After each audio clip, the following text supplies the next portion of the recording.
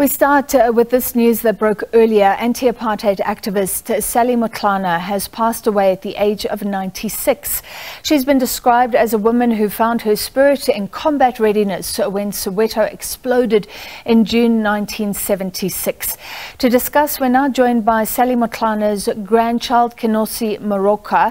Uh, Mr. Moroka, thank you for being with us. Our sincere condolences to you and your family tonight. Uh, the ANC has hailed your your grandmother, Sally Motlana, as a great patriot, activist, um, a pioneer of black excellence and women empowerment. Is that fitting? How do you think we should remember her?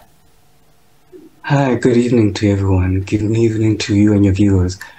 I'd like to first start by thanking everyone for the messages of support. I'd like to thank the messages we've received from our president and to answer your question, yes, it is very fitting of my grandmother. She held a very special place in all of our hearts. She taught us many things. She represented many things to many people. To us, she was an activist at home. She was an activist in church. She was an activist on matters of national importance. So yes, I do agree with the description that you have given me as as uh, some anti-activists, um, uh, anti-apartheid activists pass, many South Africans are wondering what did they think of uh, the new South Africa, of the ideal, and then uh, what became um, some of the challenges that we've we've faced in recent years. Did you have any understanding of, of what her attitude was uh, towards the the government uh, towards the the country that uh, or what became of it?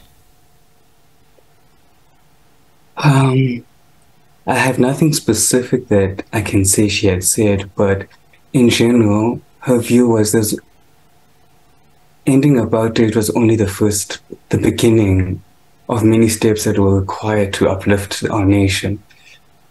She looked at the current happenings as we haven't fully completed the mission that her and others like her had started.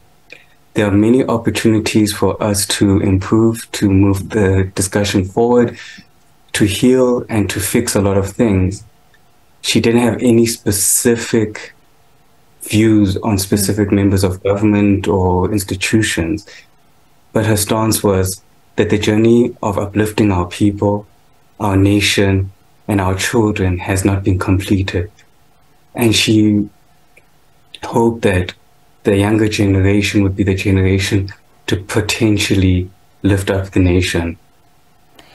Well, uh, let me end with that. Um, as a as a younger man, uh, again, quite a tough question, but how do younger, uh, how does the young generation honor uh, the legacy of, of your grandmother and her colleagues in, in the fight?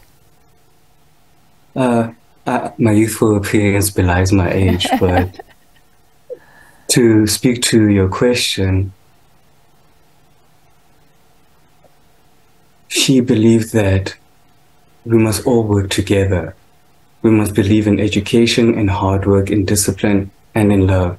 When you see someone in need, don't turn a blind eye to them. Help them. Lift where you can.